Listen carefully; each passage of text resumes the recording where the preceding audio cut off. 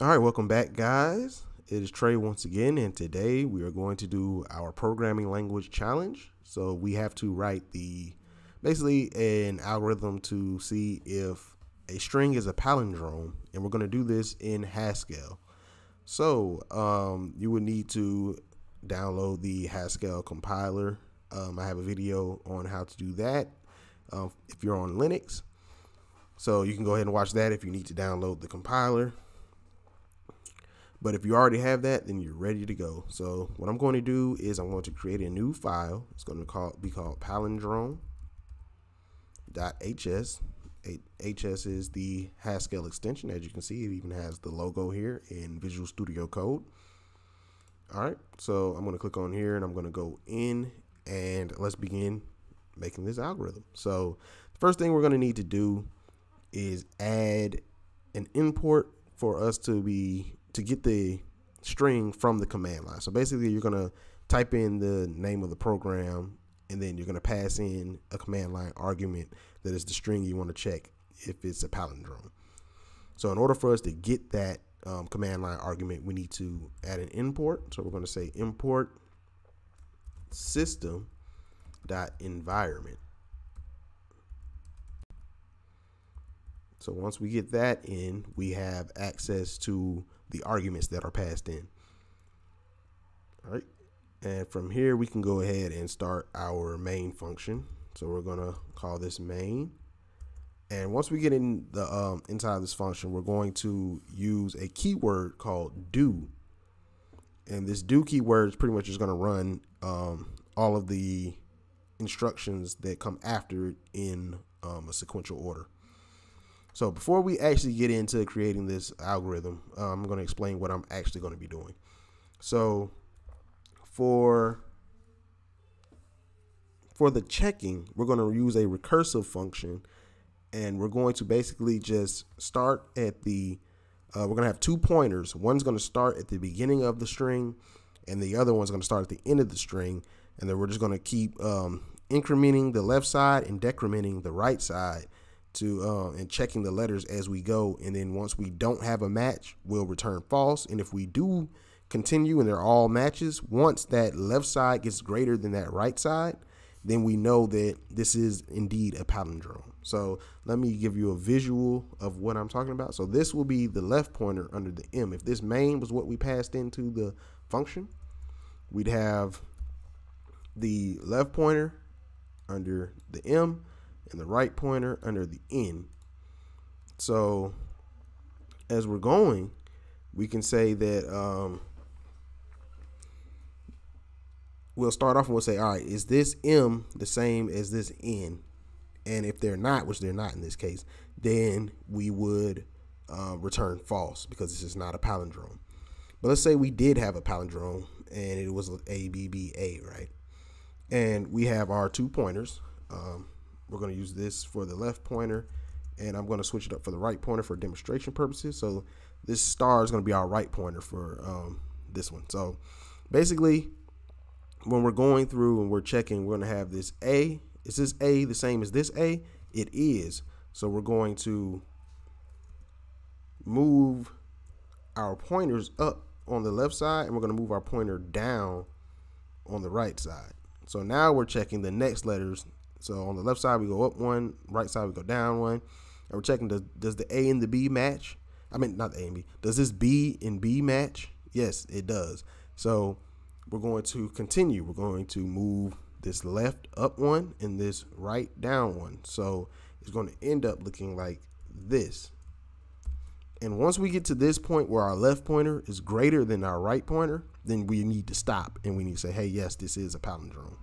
Otherwise, we're going to return false before we even get to this point. So that's how we'll check.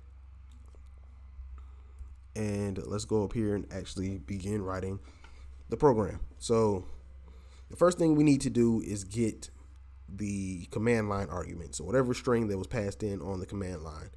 And we'll do this by saying args. Then we do this little arrow. And then we're going to um, call get args. So this get args is a built-in function for um, Haskell. So we get that from the system.environment. So we call this get args. It's going to put that the the list of arguments into this args variable. So from here we can um, this is actually the whole list though. So we need to just get that first element out of there, which is whatever was passed in. So the way we're going to do this is we're going to say let and then we're going to call this str. So this is basically the string and then we're going to get that from the arg. So the way we get this from the args, we're going to call head args. So this head is basically just going to grab the first element off of this args list. All right. So once we get that first element, we're going to put it into this string. And now we have that first element, which is basically whatever you wanted to check um, to see if it was a palindrome. So now we have the string. Now we have to go through and actually um, create the function, the, the recursive function that's going to be used in order to um, basically iterate through this string and figure out if it is a palindrome. So let's go ahead and create that function now.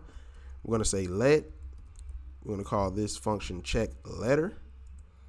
And then when you're creating a function header, you need to pass in um, the parameters right after the name. So the parameters don't go into parentheses or anything you just uh, pass them in as a space separated list. So we're going to pass in this string. So this string is going to be the same as this string. And then we're going to pass in the left um, index, and then we're going to pass in the right index. These two are going to be integers, and this is pretty much just checking, you know, keeping track of where we are in um, in the string. So this will be index um, if, the, if main was our string, this m would be index zero, and this n would be index was one zero one two. So this would be um three. All right.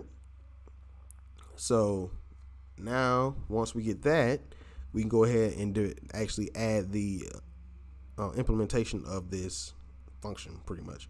So inside of here, we're just going to need to um, do a couple of checks. So first, we need to handle our base case where the left uh, pointer is greater than the right pointer. So we'll say if left is greater than right, then return true. Because we know if our left pointer um, go uh, gets greater than our right pointer, that means we checked every letter and we know that this isn't palindrome because it didn't fail yet. All right. And from here, we're going to need to say else and then we're going to say if. So now we're going into if the base case works fine, then we go into this um, second part, which is basically we're going to check the letter. So this is where we actually do the letter check um, to see. So we're going to say if, and I'm going to put this in parentheses. We're going to say if left. No, no, no. We need to say if string. So we need to get the letter out of the string. So the way we do this is by using double exclamation points. So we do double exclamation point and then we say left. So for this, the string is obviously the string. And then this double exclamation point basically says, hey, we're going to get an index from this string. So you can think of this string as like a character array. And we want to get an index from that character array. And this left is that index. So we're going to say string um, get the get an index and then whatever this left because remember this left is an integer so whatever that integer is we're going to get that out of the string all right so now we're getting a specific character out of our string and now we need to check with the right so we're going to say um, the str double exclamation point and then right so this is basically saying hey is the left character the same as the right character all right so if it is then we're going to do a recursive call to check letter to get the next letter and check it out. So we're going to call check letter again. We're going to pass in the same string. Then we're going to pass in left minus one. And then we're going to pass in, oh no, no, it's supposed to be left plus one and then right minus one. So left plus one, right minus one and this is going to um, recursively call the check letter um, function and allow you to keep going through the string until um, we either reach this base case or we're going to say else. So this else is going to go with this if statement here. And we're going to say false. So if these two characters do not match, then just immediately return false because we know it's not a palindrome. So we, there's no need to even go through any recursion. Just immediately return false. So from there, we are done with our check letter function here. And now we just need to go ahead and actually call this function on for this string. So we're going to say let is palind is palindrome and then we're going to set this to check letter str we're going to start off at zero and then we need to get the um, the right side is going to be the length of the string. So we need to get the length of the string. The way we're going to do this is there's a built-in function for Haskell that is called length. So we call length and then give it the string as the parameter. And this will get the length of the string. However, everything is zero based here. So when we're um, looking at the list, it's going to be zero based. So we need to subtract one from that length. So we get the uh, so we're not out of bounds on our indexing. All right, so once we get that, this will return if this is a palindrome or not, and that's why we have this is palindrome. And the last thing we need to do is print out is palindrome. So we call the print function, which is also a built-in function, and we say is palindrome. So we're just going to print out this is palindrome. So from here, this is it. This is our um, algorithm for checking for palindromes. So let's go ahead and compile this. So if you have installed the Haskell compiler, then we can go ahead and run GHC. This is the Haskell compiler that we downloaded. And we're going to need to pass one flag in. It's going to be called dynamic. This dynamic flag is for um, adding dynamic linking, telling um, the Haskell compiler to use dynamic linking.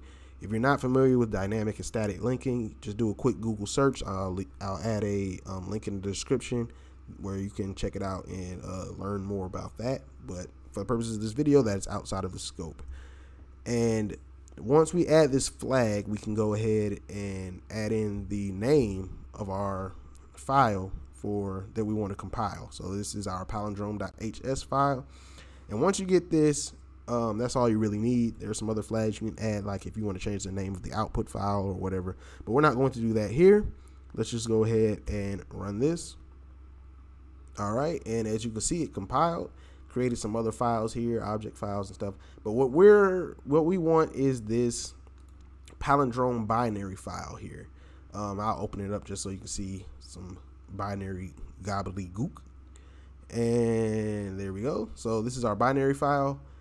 And this is what we want to run when we run our programs. So the way we can run this is by typing dot slash, type in palindrome without the dot .hs because we're running this binary, not this um, source file.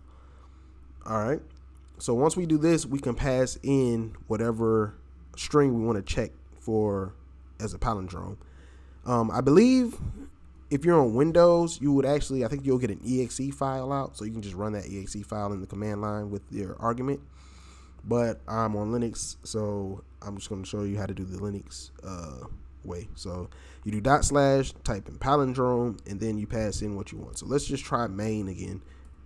And as you can see, our output is false. All right, so let's try one that is a palindrome like race car. So let's do race car. And as we can see, it comes out as true. So as we can see, this is actually working. I'm just going to do uh, ABBA just to make sure. All right. So as we can see, this is working. So in Haskell, it's pretty simple to write a palindrome check.